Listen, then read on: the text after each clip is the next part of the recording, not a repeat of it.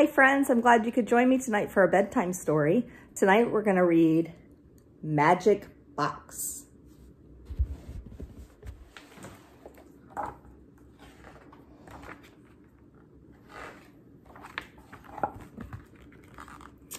On her birthday, Eva was given a very special present.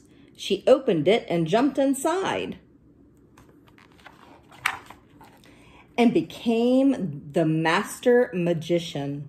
Ta-da!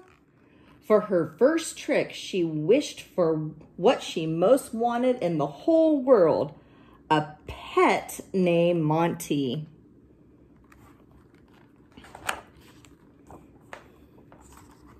Monty turned out to be rather large. For her next trick, Eva pulled rabbits out of a hat.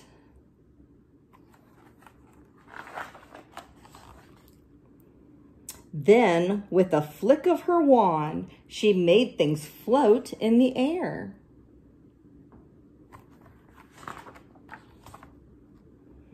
For her biggest trick of all, Eva threw a huge party.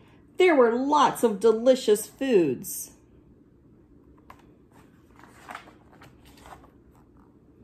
The very best musicians and plenty of dancing.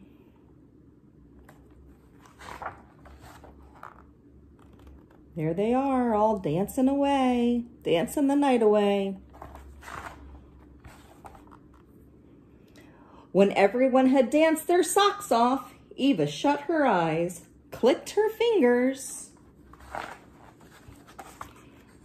and everything vanished. Well, not quite everything.